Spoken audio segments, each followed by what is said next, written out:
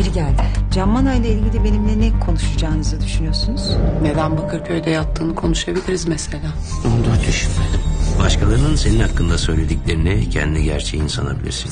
İnsanların çöplerini karıştırmak eğlenceli değil mi? Beğendin mi? Çok güzel.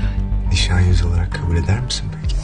Sana haberi yayınlama dedim. Ben ne olduğumu, nereden geldiğimi gayet iyi biliyorum. Seninle karşılaştığımızda da böyle saplantılı bir haldeydin. Bu kadar çok çalışmanın tek anlaşılabilir kısmı dansa aşık olmam diyebilirim. Ne oldu? Ben ilk elemeyi geçtim. Davet edildim. Eğer senin yerinde olsaydım hiç kimseyi dinlemezdim. Fi yeni bölümüyle Cuma akşamı Show TV'de.